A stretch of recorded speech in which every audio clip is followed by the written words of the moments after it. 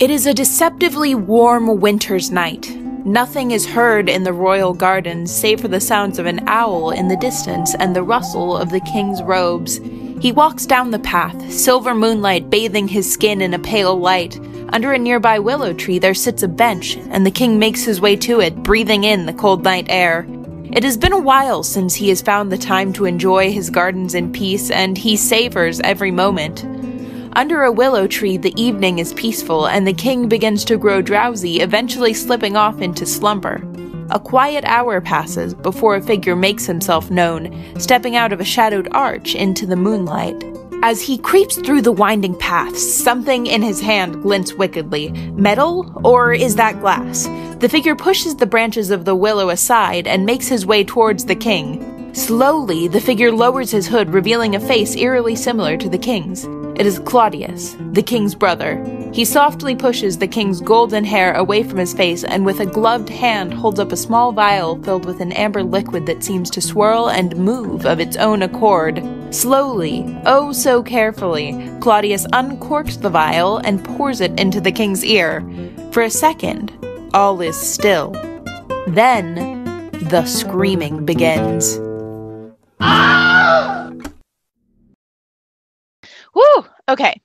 That was a mouthful. I just wanted to say welcome, lovely listeners and players. As you might have guessed, the king passed away shortly after the aforementioned screaming. The setting is Denmark and the year is 1485. Welcome to the 80s of the Middle Ages. Although they didn't have perms and synths, they did have plagues and swords. So, like the same thing all in all this isn't your typical d&d podcast both political and social tensions are rising as we set our scene to get us started do the players want to introduce themselves Um, I'll go first. I'm Hamlet. My pronouns are they, them, and I'm a human warlock. I'm Crown Prince of Denmark, philosophy major, and wannabe poet. Anyway, I grew up with Ophelia and Horatio, who you'll meet soon. I used to date Ophelia, but we all grew up together, and all three of us are really close. I regale them with my writing and revolutionary philosophy, and they laugh when I run into a wall while it's dark, because apparently I'm the only one who didn't get dark vision. Okay, I think that's all. Who's next? Um, I can go. I'm playing Horatio, he, him, a tiefling cleric. I'm quite smart as well as bookish? Is that a word? Alright, more like scholarly, I guess. Oh, I'm a med student because I like helping people, and a philosophy minor because I like helping Hamlet in particular. Okay, that's it, I think. I am playing Ophelia. I go by she, her. I am a half elf druid. I am, by far, the most competent one of the group. I am also the youngest in my household and the only half elf. My mother is Paulina, who serves in the King's Court, and my brother Laertes is overseas at college. I love flowers and nature, and I'm friends with Hamlet and Horatio, or the two H's, as I so lovingly call them. I dated Hamlet before this all started, but we aren't together anymore, something I haven't told my family about. I'm guest starring as a ghost of King Hamlet. He, him. I died just a few moments ago. Right now, I get to come back and to make trouble, give people swords, and generally cause havoc.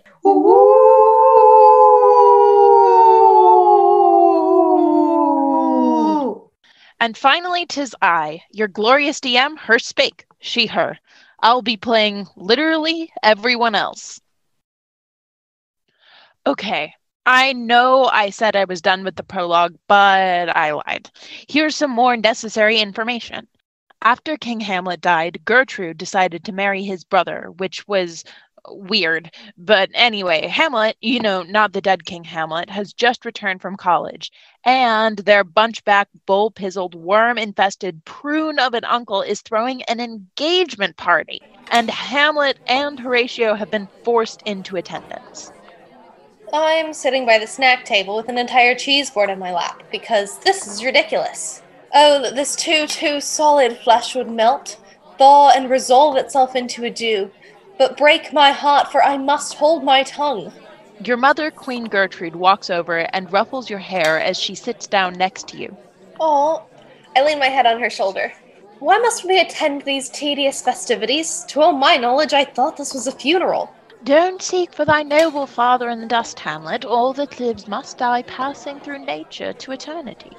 Claudius walks over as well and awkwardly places his hand on your shoulder in an attempt at fatherly support. I shake off his hand. He's not my dad. We pray you throw to the earth this unprevailing woe and think of us as a father. Uh, Queen Gertrude gives you a look, Hamlet, like she knows she's going to scold you later, and leaves with Claudius as your friend Horatio walks up. Oh, wait, that's me. Um, hail to your lordship. I'm glad to see you well, Horatio. The same, my lord. Won't make you from Wittenberg? A truant disposition, sir. I skipped school. I would not hear your enemies say so, nor shall you do mine hear that violence. I know you are no truant. Why are you an Elsinore? My lord, I came to see your father's funeral. I pray thee do not mock me. I think it was to see my mother's wedding. Indeed, it followed hard upon. That it did. The funeral dinner did coldly furnish the marriage tables. Horatio, my father! Methinks I see my father Where, my lord? in my mind's eye, Horatio. Horatio, roll me wisdom. That's a 14 plus 3, which is 17. Okay, what was that for? As Hamlet says this, you are reminded of a strange occurrence that happened yesterday night. You were hanging out with some of the guards on the battlements when suddenly the air got frosty and it seemed as if the moon was snuffed out. From across the wall, a ghostly figure appeared. Before it vanished, you were able to catch a glimpse of its face, and it was the spitting image of King Hamlet. Okay, and I don't remember anything else? Well, it did try to speak to you, but then morning came and it disappeared. Okay. My lord, I think I saw him yesternight. Saul? Who? Well, I guess it was your father. But where was this? Upon the platform where the guards watch. Did you speak to it? I did, but answer made it none. It lifted up its head, like as it would speak, but then morning light came and it vanished from our sight. Tis very strange. What looked he frowningly, Well, a countenance more in sorrow than anger. and fixed his eyes upon you? Most constantly. I wish I had been there. It would have much amazed you. Well, if it assumes my father's personal speak to it, I pray you, if you have concealed this sight, keep it secret a while yet. Upon the platform, twixt eleven and twelve, I'll visit you. My duty to your honor, my lord. Your love is mine to you. Farewell. I bow and I'll leave the room. I wave and then continue stuffing my face with cheese. And I will end the scene, I guess. Hey, uh, sorry to interrupt. I'm taking notes and I wanted to be clear on a couple of things. Oh, a note taker. Wonderful. Yes, go on. Okay, so we already know that Hamlet's dad died, and then their mom married Claudius, right? Yep. But then their dad is back. Well, a ghost of my father? Or maybe some spirit pretending to be my father? We're not entirely sure yet. Yeah, that makes sense. Yeah, and we're meeting up on the battlements tonight to catch another glimpse. Maybe we'll solve the mystery then. Okay, let's go ahead and skip to the battlements. It's cold, y'all. Like, air bites shrewdly. It is very cold, cold. Hamlet, your father tended to walk around here, so your hopes are high. And Horatio, you're kind of freaked out because this is where you saw a mother freaking ghost a few nights ago. All right, game away. I'm standing on the battlements looking around for my dad. I'm standing beside Hamlet, unhappily freezing my butt off. The king doth wake tonight and takes his rouse, keeps wassail in the swaggering upspring reels, and as he drains his draughts of Rhenish down, the kettle drum and trumpet thus bray out the triumph of his pledge. Horatio, the temperature suddenly drops and a shiver runs down your spine. Then, in the corner of your eye, you see the mother freaking ghost whooshing by. Look, my lord, it comes! Angels and ministers of grace, defend us! Be thou a spirit of health or goblin damned, bring with thee airs from heaven or blasts from hell. Be thy intents wicked or charitable, thou comest in such a questionable shape. It beckons you to go away with it. Then I will follow it. Do not, my lord. Why? What if it tempt you toward the flood, my lord, or to the dreadful summit of the cliff? Wait, can I get an insight check? Yeah, go for it. Oh, that's an 18. Okay, so you're quite sure that it's your father, but he's different somehow. It's almost like he climbed his way back out of the underworld to tell you something incredibly important and or give you powers or or something like that. In that case, it waves me still. Go on, I'll follow thee. I grab Hamlet by the arm. Hold off your hands! Be ruled, you shall not go! Unhand me! By heaven, I'll make a ghost of him that lets me. I say away. Go on, I'll follow thee. I follow the ghost. They wax desperate with imagination. I'll follow. Tis not fit thus to obey them.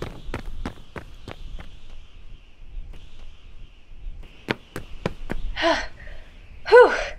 Where wilt thou lead me? Speak, I'll go no further. My hour is almost um, come, when I, to sulphurous and tormenting flames, must render up myself. Alas, poor ghost. Pity me not, but lend me to my serious hearings to what I shall unfold. Speak, I am bound to hear. So art thou to revenge when thou shalt hear. What? I am thy father's spirit, due for a certain term to walk the nights, and for the days confronted you fast and fires, till the foul crimes done in my days and natures are burnt and purged away. Oh, God. Even now ye have not yet heard the worst, this most foul and strange unnatural deeds. Murder, the most foul as the best it is. Murder? Now I am here, tis given out that sleeping in my orchard a serpent's serpent stung soul holier of Denmark is by forced process of my death, frankly abused. But no, thou noble youth, the serpent that did sting thy father's life, now wears his crown. Oh, my prophetic soul, my uncle. A that instruments that adulterate to beast with witchcraft of his wit, with traitorous gifts of wicked wit and gifts that have the power so to seduce on his shameful lust the will of my most screaming virtuous queen. Oh, most pernicious woman. Oh, villain, villain, smiling, damned villain. If thou didst ever by dear father's love avenge his most foul, most unnatural murder, Haste me to know that I, with wings as swift as meditation or the thoughts of love, may sweep to my revenge. to use the sword I give you here, endowed with my essence, a set vigor thou shalt possess, and gain a mystical power, which is a tune to thy charm.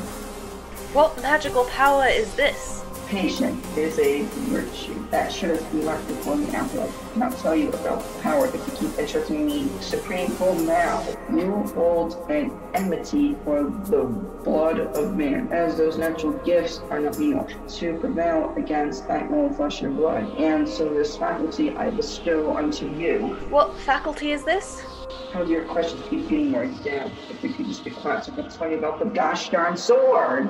Oh, in front of my. But this power never will be moved throughout a court in the shape of heaven, but a fiery demon leads. Beware, power will save itself, and celestial bed. And play on garbage, adieu, adieu, now not remembering me. Oh, all you host of heaven. Oh, earth, what else?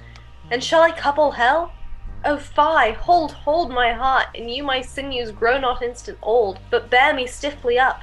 Remember thee, I, thou poor ghost, while memory holds a seat in this distracted globe.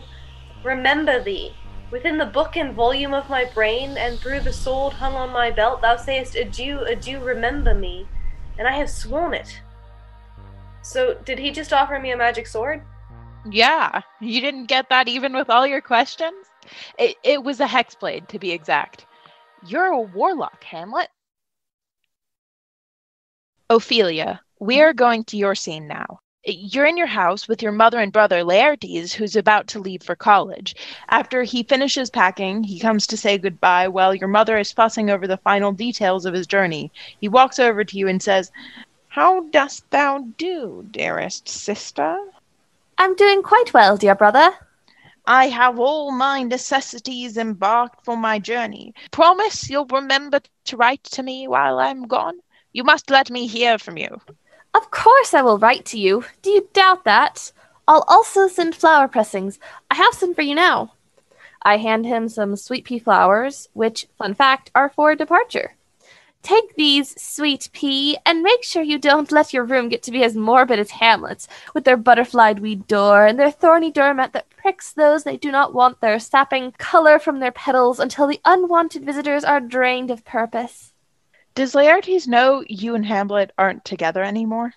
Uh, no, I haven't told any of my family. Okay.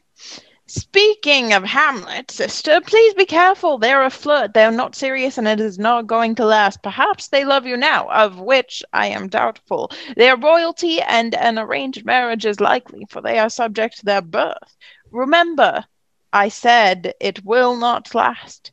Be wary, for the best safety lies in fear. It will too last. You see me as a child in need of protection, but I am no Daisy. I am. Ophelia Daisy Amastasia, you better think Ah, I- about I will the effect of this good lesson keep as watchman to my heart.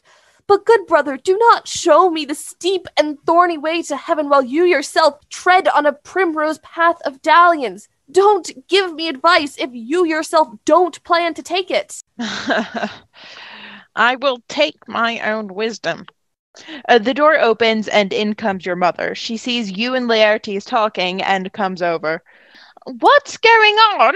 Why hasn't my son left yet? Oh, are we discussing Ophelia's poor choice in romance? I do not have poor choice in romance, but I I will be cyclamen, subject to your will, and heed your advice as I realize you are old and wise, even though you're a total buzzkill. Pardon? I said I will be subject to your will. I tell the truth. I am no deceptive snapdragon. I am absolutely lying right now, being a total deceptive snapdragon. Uh, then make a deception check, Ophelia. Okay, that is. Uh, oh no, that is a five and minus one. That's four. I am really bad at lying. I promise I will never see or acknowledge they exist. I swear, completely seriously. Yep, no lies here, not one, none. Okay, Ophelia. If you even acknowledge they exist, you will be in trouble. I mean it. You're not to speak to them, and if you are seen with them, there will be consequences. You'd have to leave the castle. I could send you to stay with your grandmother. I know she has a wonderful city job. Lots of shops there, too. She doesn't live near any gardens. I will not let you act as a little green girl and let them play on your naivety, then break you. Oh, oh God, shops. The worst thing, a symptom of cities. And the gardens there, oh, they are, they only have common flowers, no ornate ones like hobaya or burdock, but they should have burdock because it would describe the setting. I would be tansy if I were forced to go there. Okay, I'm gonna need you to roll a charisma saving throw to see if you're intimidated. Okay, nat 20. Hang on a sec.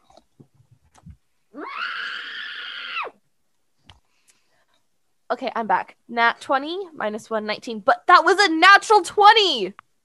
That is a success. Um, that is not what I was expecting. Okay, um, you are so not intimidated that you feel a fire in your stomach. Not only do you want to ignore them, you actively want to disobey them to prove them wrong. Oh, heck yes. I am looking for Hamlet immediately. Oh dear, that that sounds awful. Excuse me. I am going to head out for a completely innocent reason. Uh, goodbye, Laertes. Bye, Mom. I am not doing anything suspicious. Farewell, Ophelia, and remember well what I had said to you. Yes, yes, bye.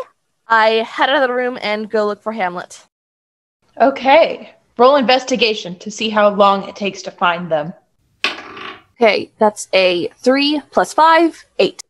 All right. Okay. So it's the next day. Ophelia, as you walk through the castle, trying very hard not to look suspicious, you hear snatches of Hamlet's voice as they monologue in an empty room.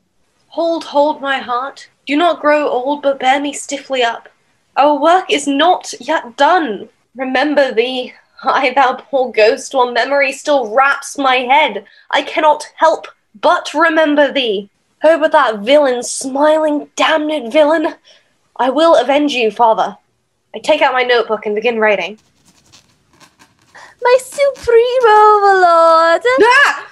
Alas, your ink! It's flown everywhere. Did I surprise you? So it seems you did. Tis no matter, for I have seen and heard things tonight that would make such trivial matters seem so small as to become unnoticeable. Are you so absorbed that you don't notice that your favorite tunic is now stained with the ink of iron galls? What? Oh. Oh! Ah! Oh no! Oh. Um, yeah, that's not coming out. Okay. I do care about that.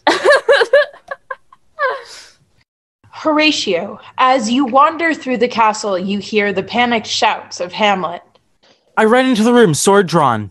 You dash in, expecting a fight. Instead, you are met with the sight of Hamlet hurriedly dabbing at the spilled ink on their clothes and Ophelia laughing giddily. Ugh. How is it, my noble lord? Ah, Horatio, tis well that you are here, for I have news to share with Ophelia. I wiggle my eyebrows at Horatio, hoping he gets the message. Oh, good. Do tell. On second thought, no. You'll reveal it to all your little flower comrades. Not I, by heaven. Not even my cathedral bells vine. Nor I, my lord.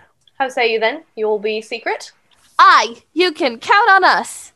Well, there's ne'er a villain dwelling in all Denmark, but he's an errant knave. There needs no ghost come to the grave to tell us this, my lord. What? Why, right, you are right. But touching our vision of evening past, it is an honest ghost I saw last night, let me tell you. Never in my life have I seen such a blade, my lord. It seems to almost. It seems to glow in the light. Nay, Horatio. This blade does glow. What what is this witchcraft, Hamlet? Twixt the hours of eleven and twelve, a spectre appeared before me, Ophelia. I followed its dogged footsteps, and once we reached the edge of light, when all the world is quiet and not a creature stirred, it came to me, my father, as a red sun and yet cold as death. He bid me avenge his death, for as it happens, the wicked and pernicious Claudius killed him with the most cowardly of devices poison. Upon my acceptance of this mission, he gifted me this blade, his emblem, to aid me in his quest to rid Denmark of a most foul corruption. And now, as you are friends, scholars, and family to me, give me but one poor request. What is it, my lord? We will. Never make known what you have seen and heard tonight. Of course, we shall not. Never. Nay, but swear it. In faith, my lord, we won't. We said so. Swear upon the sword. We have already sworn, Hamlet. But upon my sword. Swear. He is with us now. Never speak of this that you have seen, please, my friends. Swear. Oh, day and night, but this is wondrous strange. I cannot help but think this is all but a dream. There are more things in heaven and earth, Horatio, than are dreamt of in your philosophy. I. Then I swear it, my lord. I am like the white rose, Hamlet. Not but we three shall hear of this. Rest, rest, perturbed spirit. O my friends, with all my love, I do commend me to you. Let us go in together, and still with your fingers on your lips, I pray. And I put my hands over their mouths. O cursed spite that ever I was born to set it right. Come, let us go in together. These are strange times indeed, dearest Hamlet, but we shall survive the darkest night when we are each other's sunflowers. Come, my friends. My mind is already beginning to overflow with inspiration. Indeed, my lord. We'll turn a plan to action yet. Okay, wow. So let's go ahead and break for this week. Tune in next time for, well, we'll just have to see. Ophelia has joined the gang, a magic sword is in the mix, and secrets are tying them all together. So at this point, anything is possible. Stay tuned.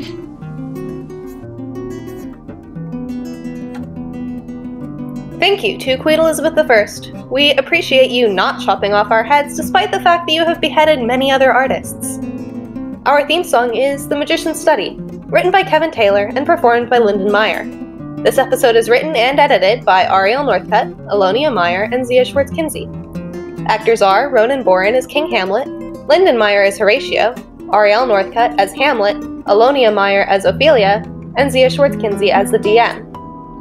Additional soundtrack and sound effects by Aurielle Northcutt and Linden Meyer. Graphics by Beatrice Rose and Aurielle Northcutt. This is an ImprovEd Shakespeare production. Disclaimer, this is not in fact a D&D podcast, and it is a work of fiction.